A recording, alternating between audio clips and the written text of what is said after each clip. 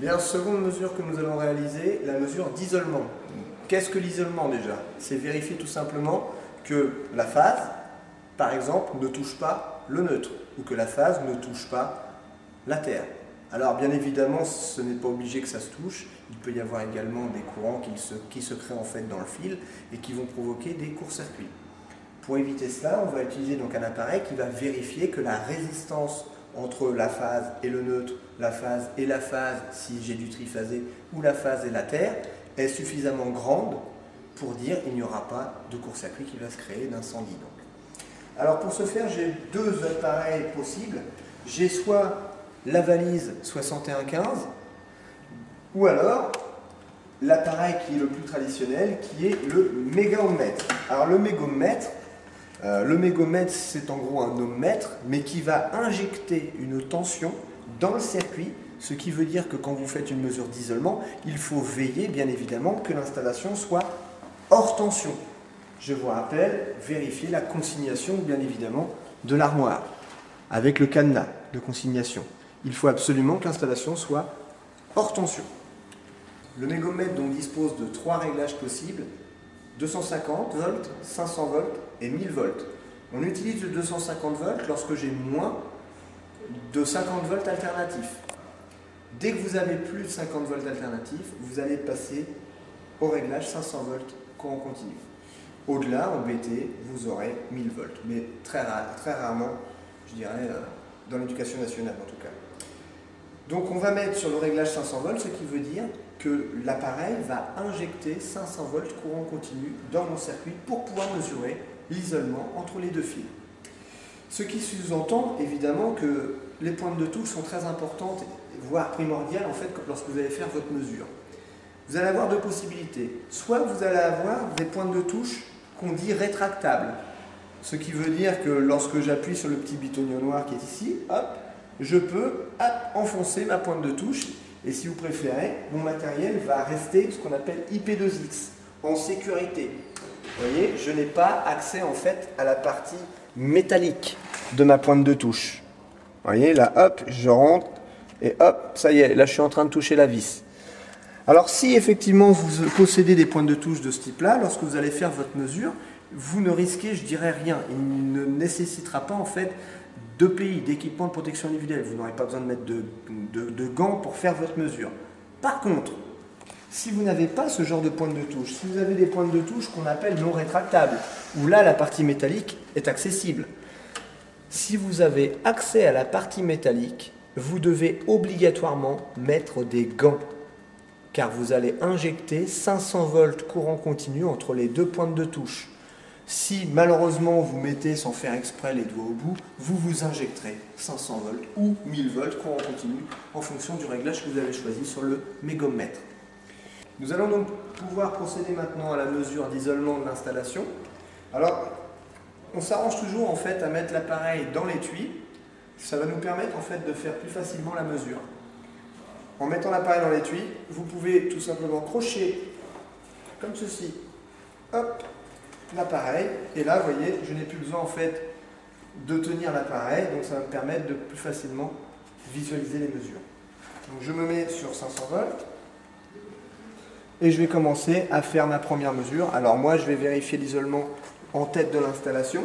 Donc en fonction de l'endroit où vous voulez mesurer l'isolement de l'installation, vous vous mettrez au bon endroit. Donc je vais commencer à faire ma première mesure entre le neutre est ici, hop, ça y est, j'y suis, et la phase, hop, et lorsque j'y suis, j'appuie sur le bouton. Alors, quand vous êtes avec cet appareil, laissez votre doigt appuyé un certain temps pour qu'il puisse vous faire mesure. Comme vous pouvez le constater ici, il m'affiche OL G ohm, ce qui sous-entend qu'il met overload, donc c'est trop grand, et c'était en giga ohm. Giga, c'est donc 10 puissance 9. Ce qui veut dire que mon isolement entre la phase et le neutre est plus grand, plus grand que des gigaohms. Donc 1,1 et 9,0, ce qui veut dire que c'est bien plus grand que l'isolement que je m'attendais dans cette installation, puisque cette installation entre une phase et un neutre, il y a 230 volts, 230 volts, donc 230 000 ohms. Je vais maintenant faire la phase 2. Je me suis donc mis entre le neutre et la phase numéro 2. Et j'appuie à nouveau sur mon bouton en laissant le doigt appuyé. J'ai une nouvelle fois supérieur à des gigaohms. Je vais faire la dernière phase. Hop Entre la phase 1 et le neutre. Et j'appuie pour vérifier que j'ai un isolement correct. Donc là, une nouvelle fois, l'isolement est bon. J'ai donc vérifié l'isolement entre chaque phase et le neutre. Je vais maintenant vérifier l'isolement entre deux phases. Alors, hop, je laisse cette pointe de touche là, j'appuie sur la deuxième, hop, et je vais appuyer ce bouton à nouveau. Toujours pareil, et ainsi de suite sur toutes les phases, ainsi que pour les dernières mesures sur chacune des phases et sur le de terre de l'installation. Donc hop, vous mettez comme ça, tac, et vous appuyez sur le bouton.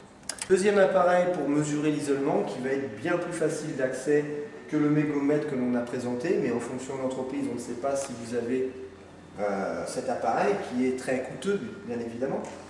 Donc là, on va mesurer l'isolement de l'installation avec la balise 6115. Pour ce faire, le réglage sera ici au niveau de la balise. Vous devrez donc positionner le curseur sur la partie insulation et nous allons réaliser une, mesure euh, classique, je dirais, ce qui veut dire qu'il va falloir mettre un fil sur la phase, un fil sur le neutre et un fil sur la terre pour pouvoir faire la mesure d'isolement. Alors je vais donc me mettre sur la position LNPE, c'est-à-dire la seconde ici. Je suis positionné, il ne me reste plus qu'à choisir maintenant les cordons de façon adéquate. Alors, on va prendre ces grandes rallonges de fil. Il y a toujours trois couleurs, le jaune, le blanc et le rouge. Et sur l'appareil, on vous marque tout simplement ici euh, la couleur qui correspond à l'endroit où vous devez vous fixer.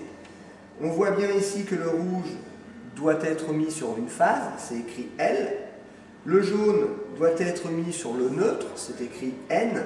Et le blanc doit être mis sur la partie euh, de terre, à la protection équipotentielle, le petit blanc qui est ici. Donc là, je vais mettre, maintenant que j'ai vu les couleurs, ceci. Je vais, sur mes trois embouts, mettre les éléments qui conviennent. Alors, on a dit le blanc qui correspond à la terre. Je vais donc prendre une petite pince pour me crocher tout de suite sur la barrette de terre. Voilà, ça y est, c'est fait. Je viens déjà de mettre la terre. Ensuite, le rouge qui correspond au L, qui va me permettre de tester chacune des phases. Alors les couleurs n'ont pas d'importance, bien évidemment, pour les embouts. Donc ça, ce sera la phase. Et puis le dernier qui correspondra au neutre. Le dernier qui correspondra au neutre. Donc voici mon neutre, voici ma phase. Je vais maintenant donc me remettre comme tout à l'heure sur le sectionneur. Le neutre, la phase 1. Et puis bah, après, je n'ai plus qu'à appuyer sur le bouton qui correspond au bouton test.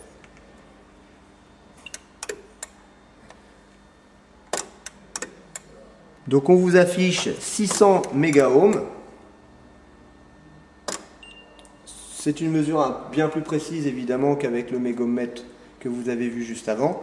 Et donc euh, c'est supérieur à 600 mégohms.